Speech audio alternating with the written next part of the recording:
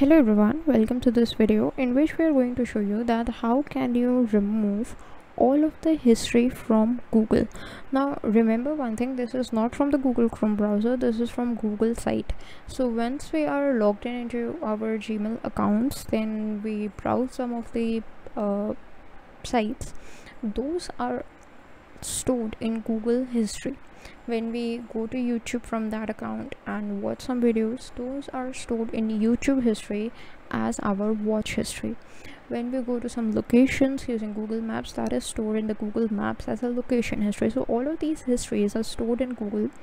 In this video i'm going to show you how to remove these histories from google.com now this step is going to be same whether you are using it on a desktop on a laptop on an android device or an iphone so doesn't matter which device you are going to use this for you can just follow the same steps. The steps are pretty simple. First of all go to google.com so this you can follow on any browser. I'm following in the chrome browser. Then go to your account. That is the top right corner. And select manage your google account. In case your particular account is not selected then you can just switch to that account and then click on manage your google account. So right now my account storage is almost full. That's okay let me just go to the option of data and privacy from where we would be able to delete our history. Then scroll down till you find this web and app activity. As we already discussed the location history the youtube history all are being stored by google. I have uh, turned off my location history so that's paused but my youtube history is getting recorded. So i'm not concerned about it right now. I'm concerned about web and app activity. So let's just click on this now here you can see there is an option on. If you want you can just turn it off.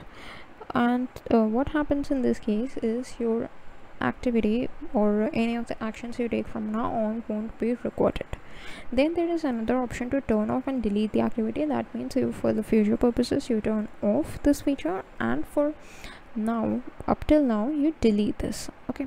So there are different tools available for which you can individually delete the activities or you can just set up an auto delete uh, in my case it is for more than three months. So by clicking over here you can just select the duration. In my case it's minimum three months. And click on next. So that would be applied and your uh, history would be auto deleted every three months. But what happens if you want to delete it? Just now. So you can go to manage all web and app activity and go to this delete.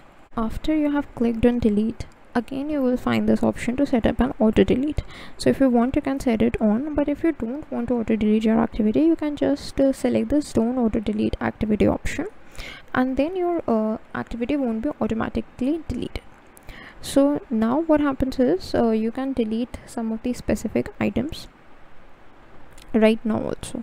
So if you want to do that you can click on confirm otherwise click on cancel now in case you want to delete all your activity then what you need to do is you can just select the duration by which you're going to auto delete your activity. So it could be in the last hour it could be in the last day it could be all time range and it could be a custom range.